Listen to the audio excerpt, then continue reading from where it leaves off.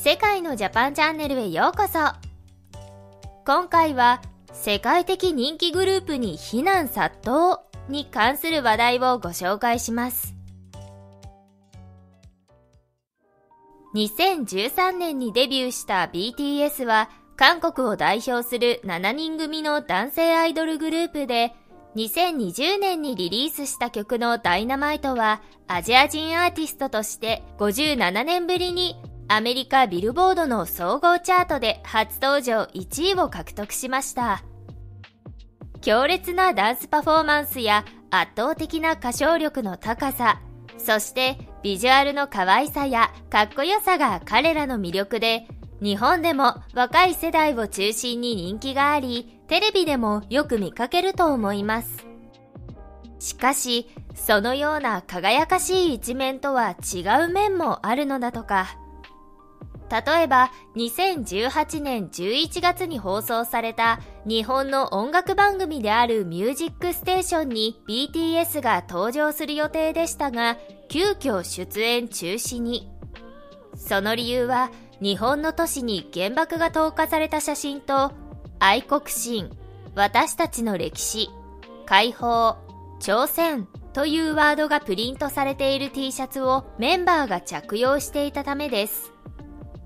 こういった問題がたびたび起きている BTS ですが、以前国連のスピーチに参加したことが海外で話題になっていました。それは2021年9月20日にアメリカ・ニューヨークで開催された第76回国連総会でのこと。当時、韓国の大統領であったムン・ジェイン氏と共に未来世代と文化のための大統領特別施設という資格で参加した BTS はムン氏から紹介を受けて登壇し世界的な流行が続いているコロナウイルスに負けず新しい生活スタイルを取り入れて前向きに頑張っている世界各国の若者の姿を伝えていました。そして、ロストではなく、ウェルカムジェネレーションだというメッセージを若者世代に発信したのです。また、演説後には国連本部の芝生の上で事前に撮影していた歌や踊りなどのパフォーマンスビデオが流されたといいます。この件に対し韓国メディアは、世界が BTS のスピーチを絶賛している。彼らは韓国の偉人だ。などと相次いで報道。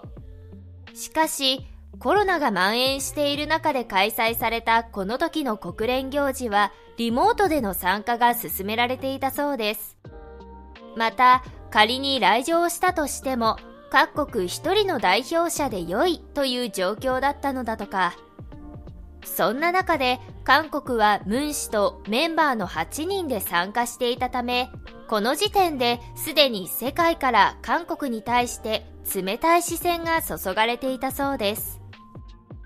この話題に対して当時世界中の人々が反応しており、様々な声が寄せられていましたので、その一部をご紹介します。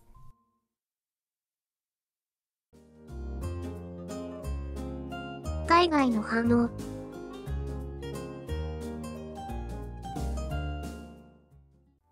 全く見たことないんだけど、あの人たちは誰？結構有名な人たちなのかな？いやいや、今の時代に BTS 知らない人なんていないでしょ。もちろん人気なのは知っているわ。でもさすがに場違いすぎて韓国のことが嫌いになりそう。国連本部でお遊戯会はないよ。歴史が汚されたね。最悪の気分だ。国連が許可したとか、本当に笑えるよ。これはありえない。なんか炎上してるなぁと思ったら、やっぱり韓国だった。ただ、国連を政治アピールの場だと履き違えているムンジェインと韓国という国が悪い。このグループは被害者だよ。世界的な知名度もないのによく世界的な場に出てこれたな。アホだな、貴様は。世界的な知名度があるから、こういう場に呼ばれるのさ。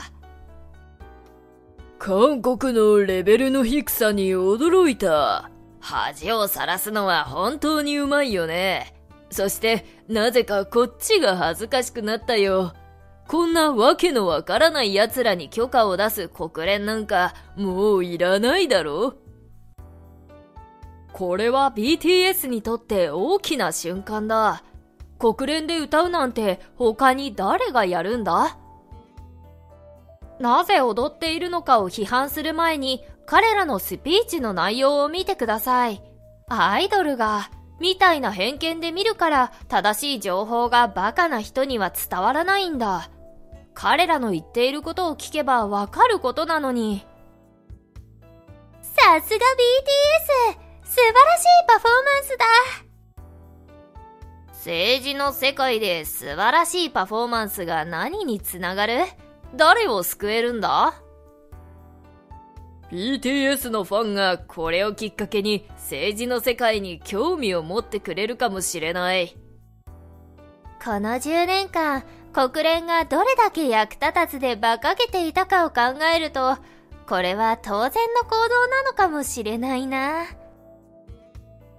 今の国連はふざけているだけだ。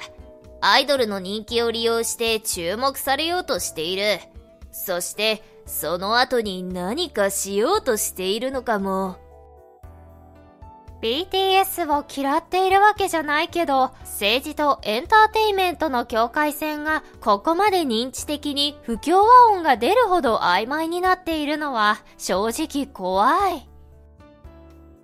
最近はエンターテイメントと政治が混ざっているからね。今の政治がダメすぎてエンタメを利用しないと若者に興味を持ってもらえないのさ。国連が戦争をやめたり、大量虐殺を防いだりするのに全く効果がないのは仕方ないけど、これは度が過ぎているよ。さすがに笑えないな。これから毎年歌手を呼ぶつもりか？バカバカしい。国連は世界の象徴であると同時に未来の象徴でもある。だから BTS を今回のように使うのは不適切だ。しかも、このご時世にメンバー全員で登場とは、援護もできないな。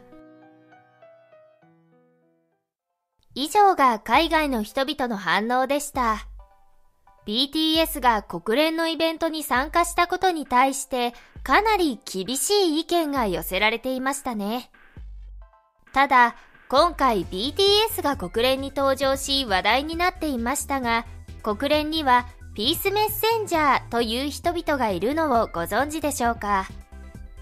ピースメッセンジャーとは国連の活動に世界の人々の注目を集めることに協力してくれる著名人のことで芸術、文学、音楽、スポーツの分野から選ばれています。国連事務総長からグローバル市民としての栄誉を受けたピースメッセンジャーは世界各地の何十億という人々の生活改善に取り組む国連の活動に関心を集めるべくその時間と才能そして情熱を注ぐのです。では実際にはどのような人が選ばれているのでしょうか。ここからご紹介しましょう。ジョージ・クルーニー俳優映画監督脚本家そしてプロデューサーなど多岐にわたって活躍するジョージ・クルーニー。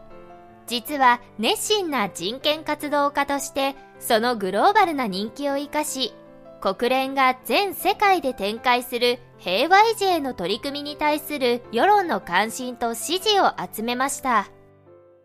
また2007年には世界各地で起きている大規模な残虐行為と戦うために世界の関心と資金を集めることを目指す NPO 法人 Not on Our Watch を設立。レオナルド・ディカプリオ国際的に高い評価を受けている俳優で、プロデューサーでもあるレオナルド・ディカプリオは、以前から熱心な環境保護主義者です。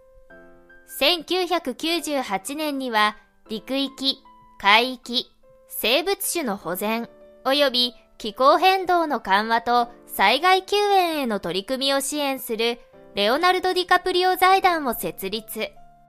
当時の国連事務総長は2014年気候サミットに先立ち、気候変動を特に重点分野とするピースメッセンジャーにディカプリオを任命。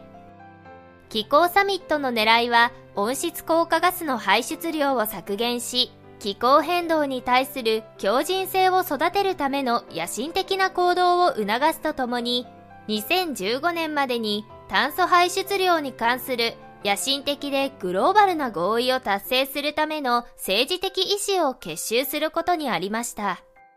その広告塔としてディカプリオが選ばれたのです。スティービー・ワンダー。シンガーソングライターのスティービー・ワンダーの長いキャリアには人道問題に対する彼の深い関心が反映されています。グラミー賞を受賞したワンダーは作曲や制作、講演を通して障害、エイズ、ガン、糖尿病、飢餓、ホームレス、家庭内暴力といった問題に苦しむ子供や大人たちのためのチャリティー活動も行ってきました。そんなワンダーは2010年、障害者に関するピースメッセンジャーに任命されたのです。ピースメッセンジャーは公式行事に出席したり、国際メディアや人道支援活動に関わったりすることで国連の理念や目標がいかに人々の関心を必要としているかについて理解を広める助けとなっています。この人たちの中にはその善意と知名度の力により地域的、局地的な喫緊の課題、さらには国連の活動全般に対する国際メディアの関心を高め、その可視化に大きく貢献した方々が多くいるのです。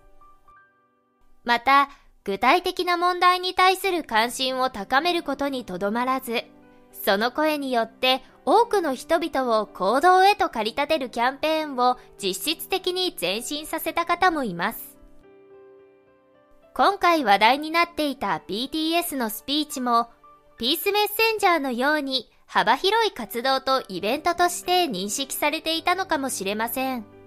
しかし、大切なのはその後の行動です。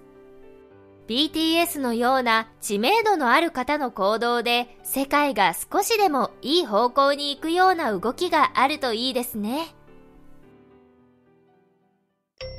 動画を最後までご覧いただきありがとうございました。この動画が参考になりましたらチャンネル登録と高評価ボタンをお願いします。